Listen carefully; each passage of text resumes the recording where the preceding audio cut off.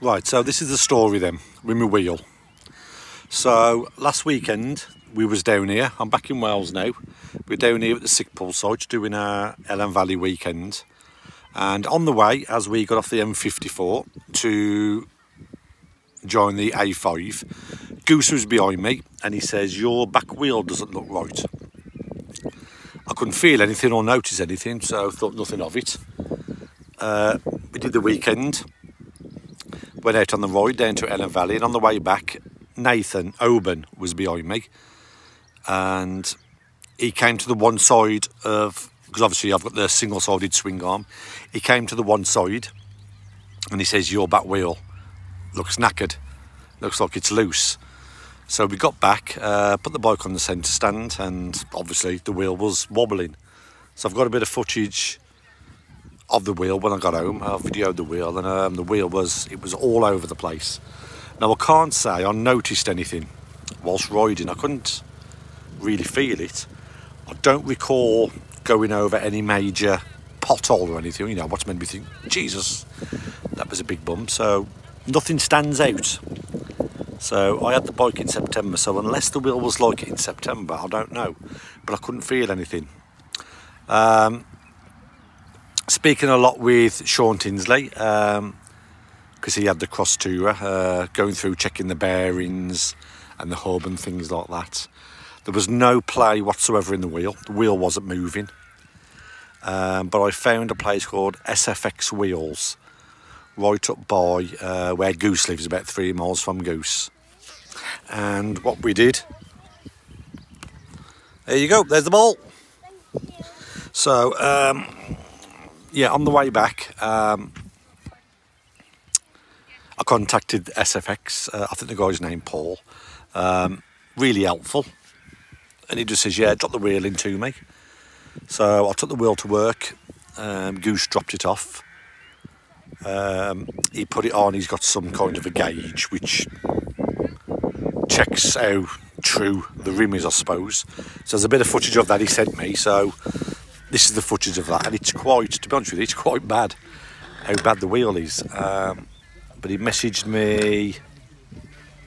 What are we on now? It's Monday. He messaged me Saturday morning and he says, "Yeah, it's all done, thirty quid." So he sorted out the spokes on it. So I think a few of the spokes was loose. So thirty quid, you can't complain at that. So on the way back from here tomorrow, uh, I've got to go past his place by the M54. So I'm going to pick the wheel up, get back, put the wheel on, then I'm going to go out on the bike and see if there is any difference. Because whether there was something there and I'd got used to it on the bike without noticing it. So I'm just wondering if the bike will be different now. But I think what I might do is just before we go to Switzerland in July, I might take him the front wheel um, and get the spokes checked on that. You know, for 30 quid, it's, it's nothing just to check the wheel. So hopefully it's all sorted. So thank you, Paul, at SFX Wheels. Uh, I'll try and get some footage of your place when I come and pick the wheel up tomorrow. So that's it. That's my wheel fixed. So there was me, expected it to be about three or four hundred quid, thinking I need a hub, I need a new rim. So it just shows you, find the right person who knows what he's doing, and it cost me 30 quid. So I'm sorted. Anyhow, we'll try the bike out on the road, see if it is sorted. So I'll probably add some footage to it of me on the bike. So here we go. This is SFX wheels.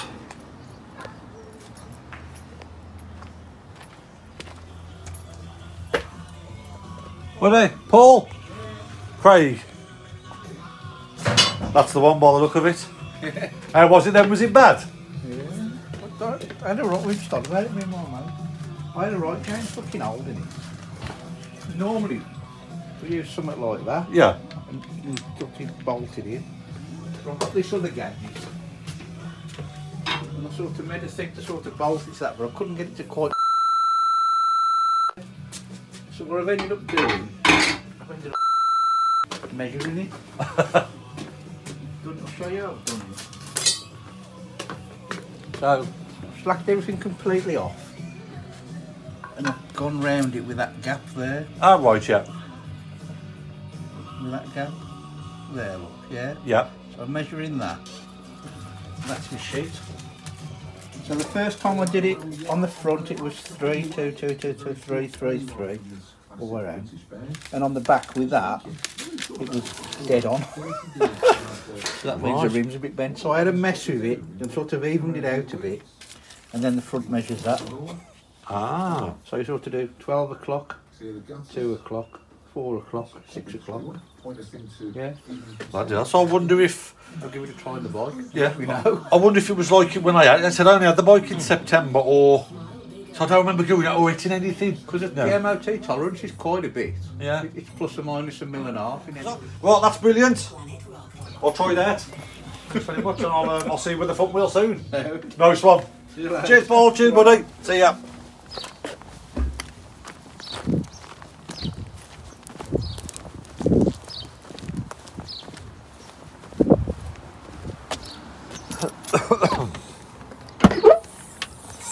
There we go. It's done. So all we can do now is put it on the bike and try it out. Right then, the moment of truth. I've put the wheel back on. I've torqued up the wheel nuts. So let's try it out.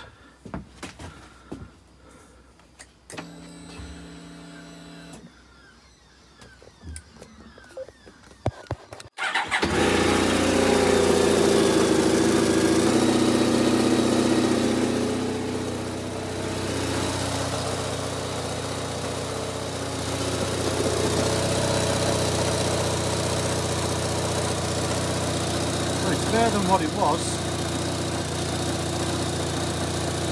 Still seems a little bit buckled.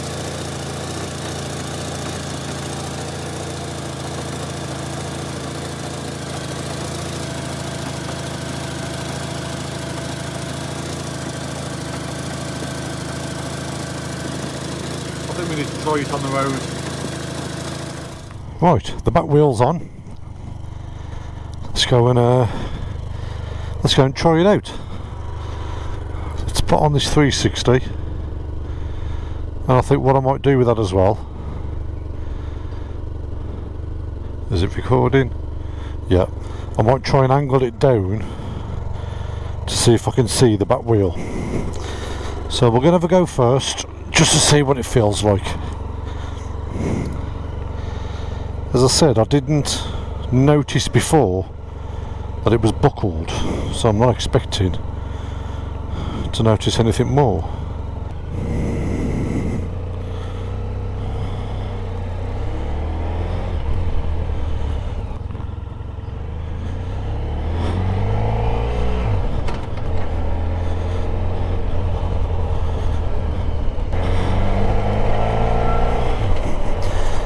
So it don't feel any different at the moment.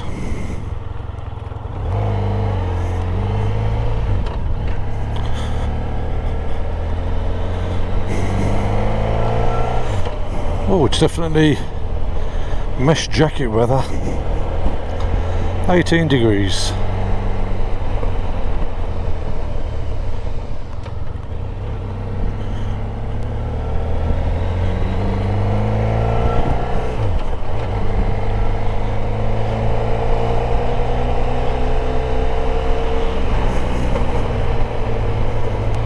We'll try it on the dual carriageway.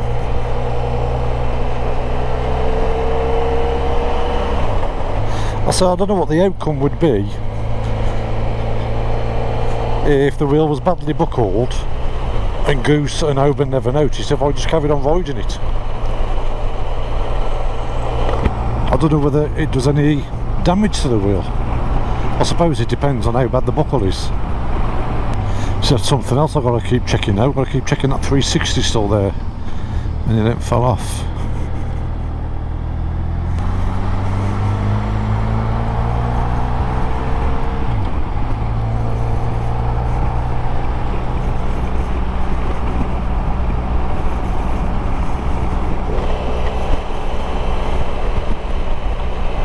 It feels alright. I don't feel like I've got any vibration or wobbling or the back end feels funny. So it feels fine at low speed I'm just wondering with a buckled wheel, when you go so fast, do you ride through the oscillation of it? Or does it get worse at a certain speed?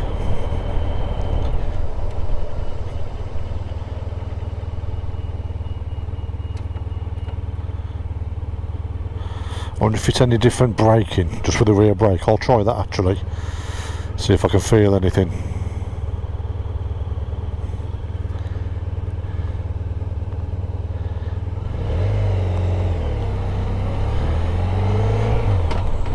Let's just use the rear brake. No, it feels alright.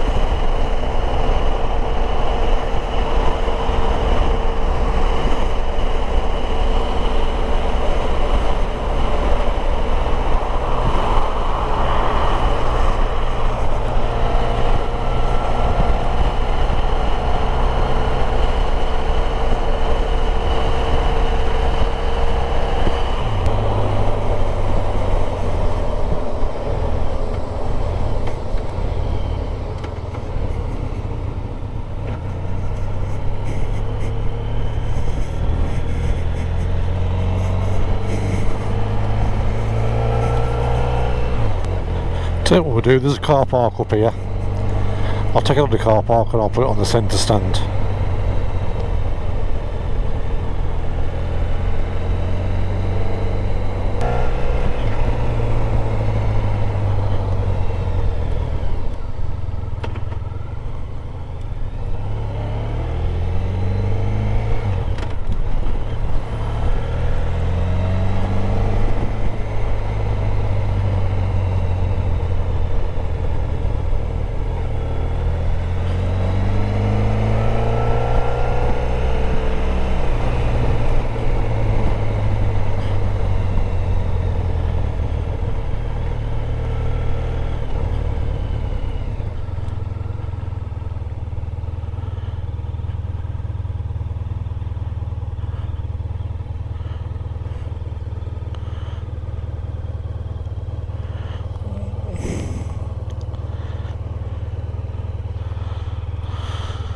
Okay.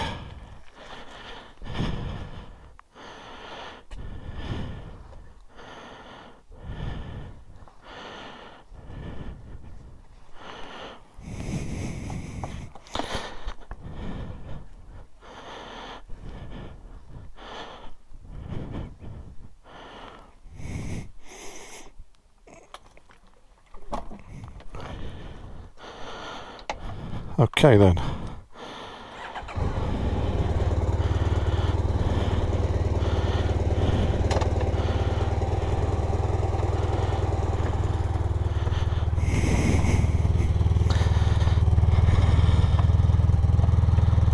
Well, the back tyre's a lot better. That was all over the place. Still a little bit in the rim. But I don't think that's too bad.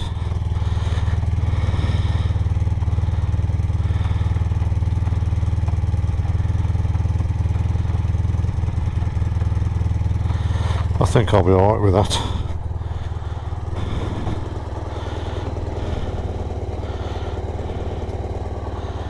Right, let's try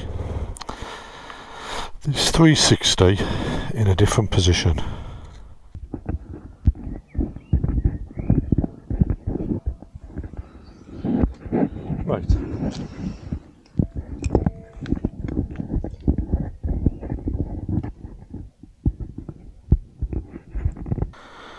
Warm today. It ain't half warm.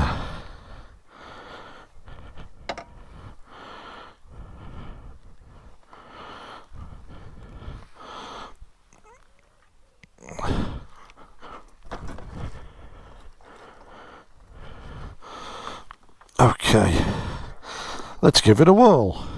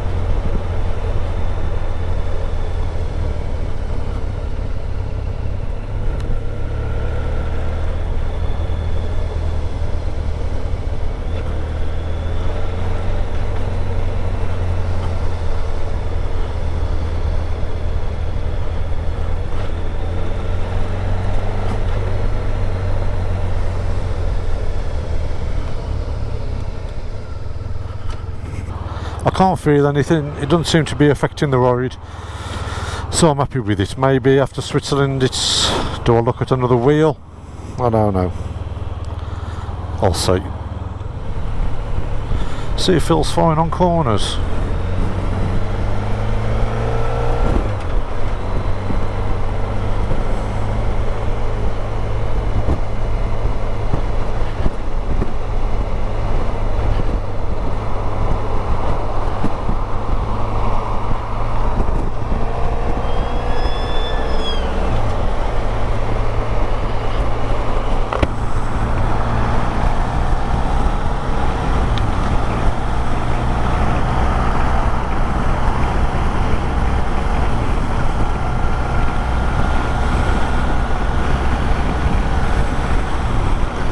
Yeah, feels fine at speed as well.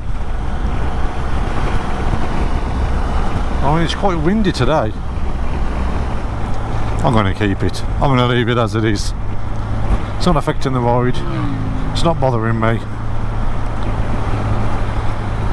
So if you want to let me know your thoughts and comments, what would you do in my situation?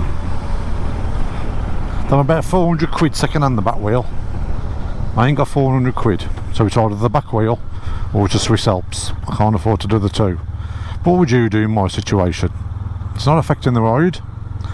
It's a lot better than what it was. I'm going to stick with this, I think. Unless something happens between now and the Swiss Alps and something changes, I'm going to stick with it how it is. Right then, let's get back.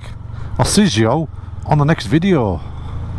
I can't do an oosh because I got both hands on the bars. I'm doing the clutch and that's what also just pretend I'm doing an oosh. Oosh.